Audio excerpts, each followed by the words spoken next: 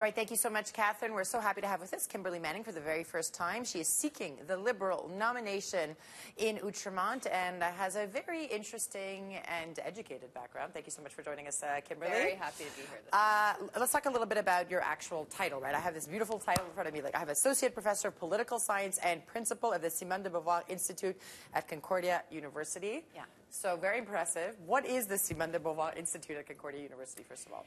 It's a pretty special place. It's actually a college, um, and it houses both the Women's Studies program and Sexuality Studies program mm-hmm. at the University of Concordia. But it's also uh, a place where uh, both faculty and young women and community organizations come together to work on different issues. So mm-hmm. it's got a so, sort of a social justice mandate as well. Yeah. So we've been involved in a number of issues um, whether it was uh, working against the Charter of Values, for example, or the Bedford case, which was to um, decriminalize sex work uh, a number of years ago as well. Right. So you, you specifically are, are, are, are involved in a a lot of things having to do with feminism and a lot of things having to do with women's rights. Um, very proud of that as well. Tell me a little bit about how you think this background, this storied background, is going to help you take this dive into politics. Well, we're, we're, we're living in a Me Too moment. Mm-hmm. We're living in a, a, time of profound social change, um, both in terms of, I think, women really um, asserting the need to take a seat at the table. Um, whether we look at the Me Too movement or other things that are happening across the country and in the United States.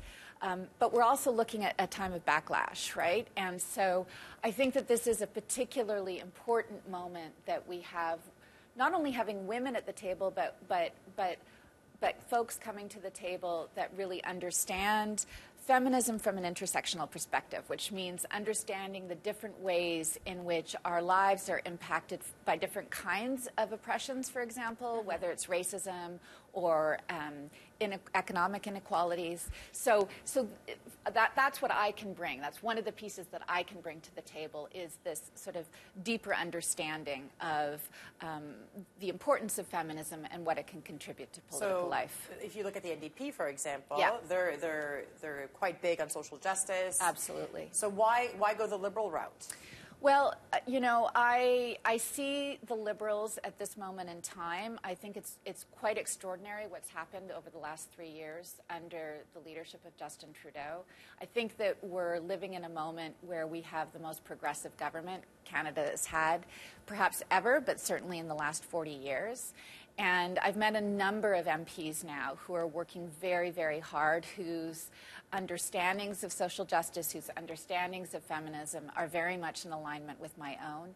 And I see the really great work that they're doing. Um, and I also see that the real financial commitment that the government's been making, whether on social housing or other issues, that to me say, okay, this, this is a government I can work with, I can get behind, and also try and continue to move the bar for, forward further. Let's talk about Outremont. I know Outremont really well. I was born in Outremont. Yeah, we were great. just talk, discussing what streets yeah. we, uh, we, were on. You yeah. described it as a sort of microcosm of Canada. Tell, yes. me, tell the people at home a little bit about how you view Outremont and why you think you're right for Outremont. Outremont is an absolutely extraordinary riding. You're right. I live in the riding. I live in what we typically think of Outremont, which is the, the older francophone um, kind of intellectual arts hub of, of the city. It's a beautiful place with lots of parks, the actual neighborhood of Outremont. Mm-hmm. But the riding actually is 105,000 people. It also includes Mile End, yes. which you know is sort of this vibrant tech hub right now emerging in, in Canada at the and moment. And so has traditional, like Old Portuguese, Old Greek, Absolutely. and the Hasidic community as well. But what a lot of people don't realize is that half the riding is in Cote des Neiges. Mm-hmm. 50,000 people um, live in Cote des or at least the part of Cote Neiges that, that in, is part of the riding. Yeah. And half of Cote des are immigrants, and half of those immigrants are recent arrivals. And how are you ready to help them?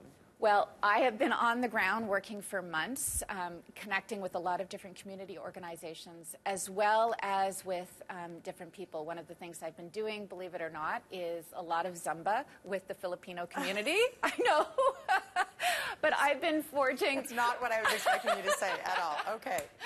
So But you've I've been, doing the Zumba. I've, I've been uh, forging a lot of Sorry, amazing yeah. new friendships Yeah. with, with people who live there. Um, many members of my team Mm-hmm. live in Cote des Neiges um, and have been involved in the community for years. So for me, it's. Um, it's, it's a very personal connection that I've been I see that, developing, yeah. and um, and also one that's deeply connected to the interests I really care about. Yeah. So, for example, I've worked with PNI, an organization that's worked with um, worked on Filipino domestic workers' rights Yeah. here in Canada, and so that that's something that really grounds the work for me in, in in the values that I'm trying to bring into Parliament as well. Kimberley Manning, thank you so much for taking the time. We have run out of time, but uh, we just Okay. I asked you, are you ready from academia to politics? You said, have you ever been in, in academia? Yeah, it's it's equally as cutthroat. Thank you so much for taking the time again, seeking the Liberal nomination in Outremont. Stay tuned. Coming up, we're talking pit bulls and the mayor's reaction.